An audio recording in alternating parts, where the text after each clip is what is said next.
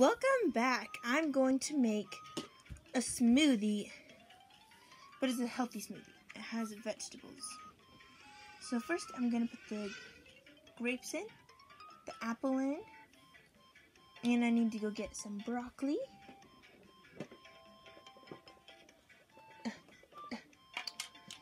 And also I'm going to put a squirt of lotion, edible, lotion, um, coconut oil. And also I'm going to put some orange juice. Okay.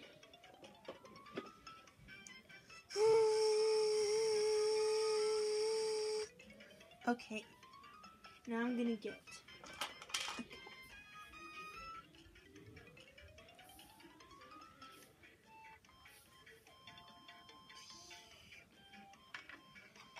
let me taste this.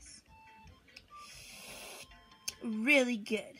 Now just make those by at home and follow these instructions. Thank you for watching.